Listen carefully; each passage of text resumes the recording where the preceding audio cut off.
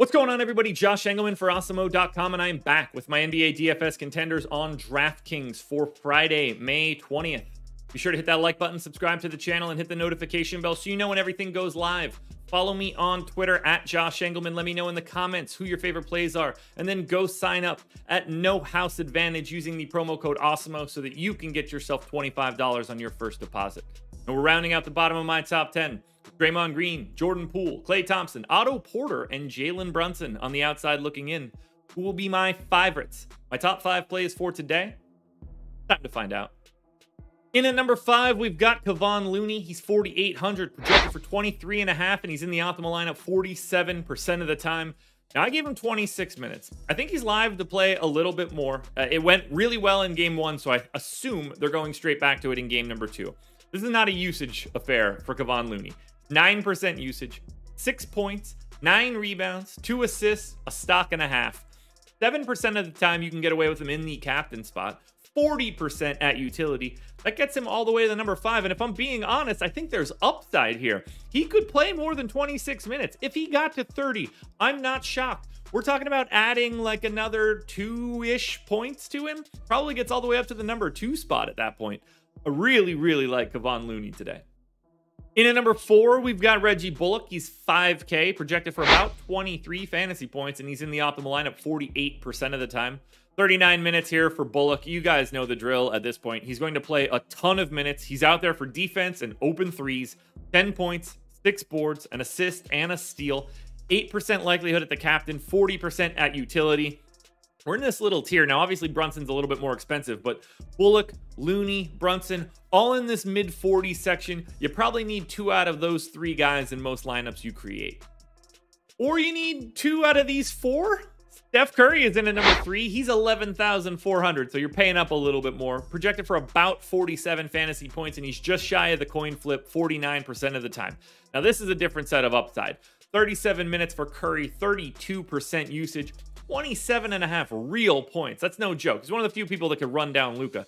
Five boards, five and a half assists, and a stock and a half.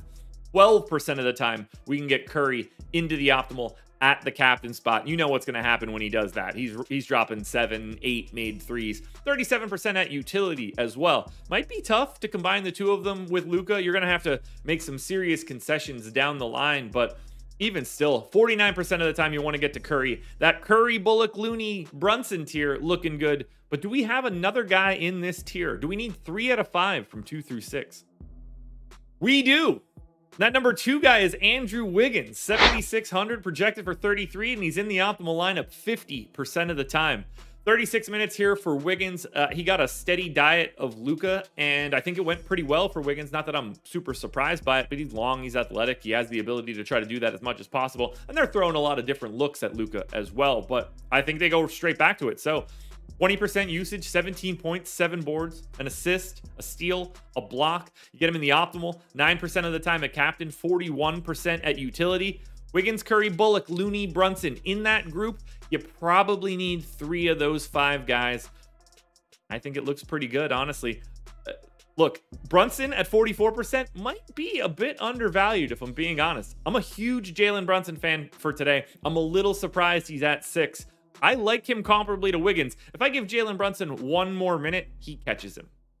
Now, before we get to that number one contender, which is very obvious, sure to hit that like button, subscribe to the channel, and hit the notification bell so you know when everything goes live. Follow me on Twitter at Josh Engleman. Let me know in the comments who your favorite plays are, and then go sign up in No House Advantage.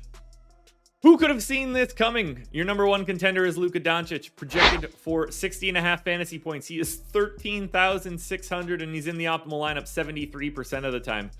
38 minutes for Luka, 40% usage, 31 points, 11 boards, eight and a half assists, and a stock and a half. He's in the optimal lineup at captain 21% of the time. He's optimal at utility 53% of the time. That's more frequent than anybody on this slate, even if you add them both together. Don't be surprised here, everybody. Just understand Luka Doncic is very clearly, by 23%, in fact, your number one contender on DK. Alrighty, folks, that will do it. Those are your NBA DFS contenders on DraftKings for Friday, May 20th. FanDuel versions around here somewhere, so check it out. Good luck, everybody. Win the money. We're back again tomorrow morning, kinda. That won't be me. That'll be Matt Savoca. I'll be back on Sunday with another edition of The Contenders.